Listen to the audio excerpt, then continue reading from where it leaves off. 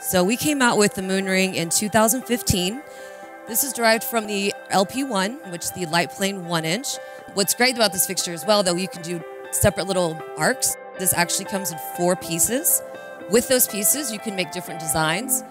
Have a nice soft edge so you don't have to have that straight, sharp corner. Or we can do my favorite, which is the toaster. We came out with the MR 1.5. Now we can go two feet up to 16 feet, and then we now have tunable white in the MoonRing. So that's a new feature. Here's the MoonRing 1.5 showing you how we can do that two-tone paint. So you don't have to have the whole fixture be red. You can have it a white, have that pop of color. And I don't want to leave out the beautiful ellipse. This is a gorgeous fixture. It's a very sophisticated take on the ring. We had the ring, so why not cut it up and make crescents? So now we can have a single, just one crescent.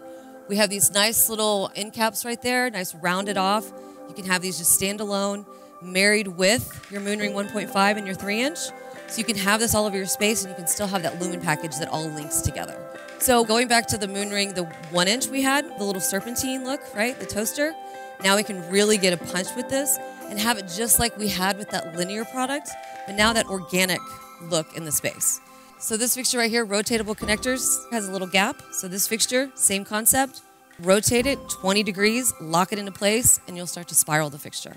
Same thing, just now we can three dimensional. It's a new twist on the uh, MoonRing, pun intended.